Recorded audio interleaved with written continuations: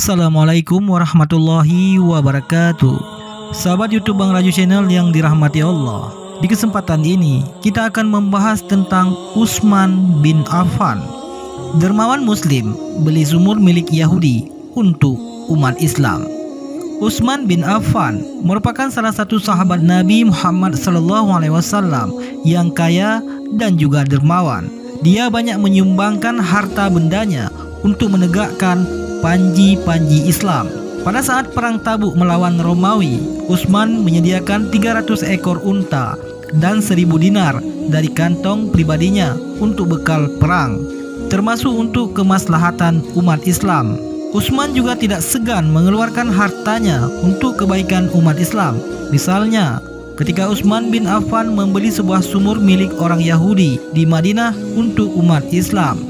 Dalam buku Utsman bin Affan yang ditulis Muhammad Husin Haikal, pada saat itu di Madinah hanya ada satu sumur yang mengeluarkan air. Sumur tersebut dimiliki seorang Yahudi.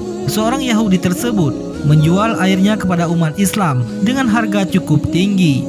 Tentu saja umat Islam menjadi resah dengan persoalan ini. Kabar ini akhirnya sampai kepada Rasulullah SAW. Rasulullah lantas menyuruh kepada para sahabatnya untuk menyelesaikan persoalan air dan sumur tersebut. Beliau menjanjikan siapa pun yang membeli sumur milik Yahudi itu dan mewakafkan untuk umat Islam, maka kelak ia akan mendapat minuman di surga. Sebanyak air dari sumur tersebut, Utsman bin Affan langsung mendatangi seorang Yahudi, pemilik sumur tersebut, usai mendengar seruan Rasulullah SAW. Ia bernegosiasi dengan sang pemilik sumur. Setelah terjadi diskusi yang alot, akhirnya pemilik sumur bersedia menjual dengan harga 12.000 dinar. Namun harga itu tidak untuk semuanya, tapi hanya separuh saja. Artinya, kepemilikan sumur berganti sehari dimiliki Utsman, sehingga umat Islam bebas mengambil air pada hari itu. Sementara hari berikutnya untuk Yahudi, Ketentuan seperti itu berlaku hingga hari-hari selanjutnya.